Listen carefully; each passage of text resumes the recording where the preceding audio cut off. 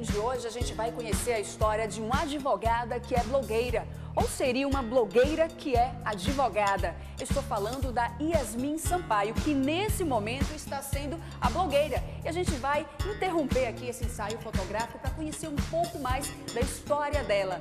Quer saber mais? Então, segue aí.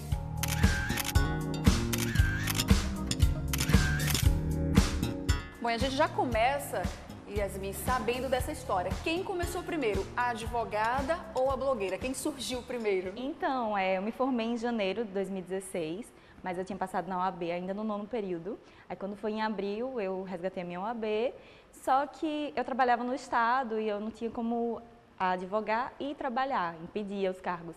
E aí eu trabalhava até uma hora da tarde e passava o restante do dia em casa. Eu senti falta de fazer alguma coisa e foi quando surgiu a ideia em setembro de 2016 de criar um Instagram e um YouTube para que eu pudesse expor um pouco do, das minhas dicas, né? do meu aprendizado, um pouco de, de, cada coisa. Hoje você tem um perfil no Instagram bastante movimentado, são mais de 50... São 56 Mais de 56k. Não é 56k, que é mais chique, é. 56k. E tem também um canal no YouTube. Isso, também tem um canal no YouTube. Hoje ele está, assim, pouco movimentado por conta do trabalho da advocacia, tá, não estou conseguindo dar conta de tudo, mas o Instagram continua postando todos os dias fotos e vídeos sempre. Pois é, hoje você está advogando, além de ser blogueira. Eu soube que no começo teve uma certa resistência. Ah, demais. Você foi criticada, inclusive, por isso. Muito. Será que por ser advogada não pode ser influenciar, influenciadora digital? Nossa, é uma cabeça antiga, né, pensar dessa maneira, mas infelizmente as pessoas pensaram e aí até em algum momento eu achei que não ia ser possível, mas eu bati o pé firme e fiz, não, eu vou ser o que eu quiser, eu posso ser o que eu quiser. Então eu vou ser advogada e você a influenciadora digital também. E vou mostrar o meu dia a dia com as duas coisas e mostrar que a gente pode ser o que a gente quiser, do ramo que a gente quiser, da carreira que a gente quiser, seja jurídica ou seja outra carreira. E eu fiz um post, eu lembro que eu fiz um desabafo mesmo e, nossa, em um, em um dia eu ganhei mais de 4 mil seguidores, as pessoas vieram contando as histórias dela e hoje cada vez só cresce mais, as pessoas gostam, interagem, tiram dúvidas. Eu trago dica jurídica, dica de moda, dica de trabalho, envolvo um pouco de todo o cotidiano. Pois é, você começou dando dicas de beleza, dicas de modas, mas hoje você também dá orientação e dicas para quem é advogada, assim Sim, como você. Advogado, consumidor, lojista, família, todo mundo precisa estar um pouco ciente de tudo. Então lá no meu Instagram eu acabo abordando um pouco de todo esse cotidiano. Aí você estava falando que você dá dica para as pessoas, dica de moda, dica de beleza, e eu falei assim, como se vestir, né? Porque Isso. advogado, né, tem toda uma formalidade diferente da blogueira. Totalmente diferente, até meu guarda-roupa, ele é dividido em dois guarda-roupa de social, né, o guarda-roupa de advogado e o guarda-roupa de blogueira, que aí eu posso usar uma coisa mais despojada,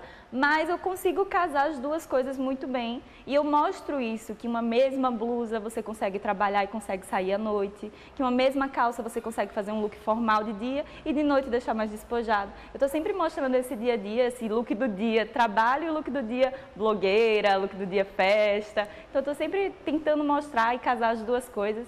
E eu acho que é isso que o pessoal tem gostado do diferencial.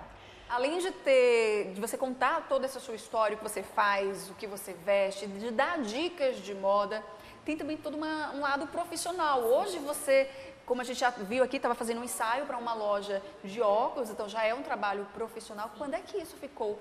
Quando é que a rede social virou profissional, algo profissional para é, você? Então, quando eu comecei, é, eu não tinha intuito nenhum de início ter algo profissional. A coisa foi crescendo, eu fui demonstrando conteúdo e aí as empresas entraram em contato comigo. Aí começou a virar um negócio. Isso, e aí comecei a fazer contrato com empresas, empresas para seguirem todas as cláusulas. Realmente hoje virou um trabalho compromissos, ter hora de chegada, hora de saída em determinados trabalhos. Então, realmente, hoje, a gente vê como um trabalho, mas é um trabalho muito prazeroso, porque a gente faz porque a gente gosta, né? E aí, casar as duas coisas, para mim, foi sensacional. Que bom. E você tem também um canal no YouTube. O que é que você faz nesse canal? Normalmente, no canal do YouTube, eu deixo para fazer os vídeos mais longos, tipo um do it yourself, que são os me é, diz tutoriais o que é, do it yourself. São é, tutoriais de como fazer em casa. Faça você mesmo. Então, assim, eu ensinei numa época umas chokers que era bem na moda, acho que foi há um ano atrás, um ano e meio atrás, estava bem alta. E aí eu ensinei umas opções bem baratinhas, com 10 reais você fazia quatro chokers. Nossa. E aí o pessoal adorou. Eu fiz uma guirlanda do Natal, faça você mesmo sua guirlanda do Natal. Eu deixo para fazer esses vídeos mais longos. Eu deixo os tutoriais de maquiagem para o Instagram, que são mais curtinhos. E os vídeos assim de faça você mesmo, decoração, dia a dia, mais complexo, aí eu deixo para o YouTube. Não é qualquer, qualquer foto que vai parar na, na, sua rede social. Tem todo um cuidado com a maquiagem, com o cabelo. Tem que estar tá tudo perfeito. É, tem que estar tá tudo bem alinhado, né? Na verdade, a gente sempre tem um trabalho ou com fotógrafo, ou quando eu vou fazer pelo meu celular mesmo, que hoje tem uma qualidade também muito boa, eu tento prezar para um aplicativo que não vai perder a qualidade, mas vai realçar a beleza da foto também. E eu quero as dicas desses aplicativos, mas gente, vamos, vamos divulgar aqui, né? O é, arroba... É, Yasmin Sampaio, é com Y. Com N. E Yasmin com N, dois I. Isso, Sampaio. Normal. Aproveita segue a gente também, arroba Aline Aragão, arroba tv.atalaia. Segue também a gente lá nas, nas redes sociais, arroba Balanço Geral. E vamos, claro, aproveitar as dicas aqui claro. da Yasmin. Quais os aplicativos você indica, então, para a então, gente deixar uma foto bem, bem bonita, bacana, bem bacana? Né? Normalmente eu uso três aplicativos. Eu tenho o ViscoCan, que é para usar assim para dar um fundo diferente ou para eu deixar aquela foto bem Tumblr, que é uma dica que o pessoal dá para ser descolado. E tem o Lightroom, que eu gosto muito para trocar a cor do céu, tipo, deixar o céu bem verdinho ou deixar o céu bem azul, para dar aquela foto bem diferente. E uso o Facetune para as fotos de selfie, para dar um destaque no olho, dar uma suavizada em alguma coisa. A gente sempre dá um jeitinho.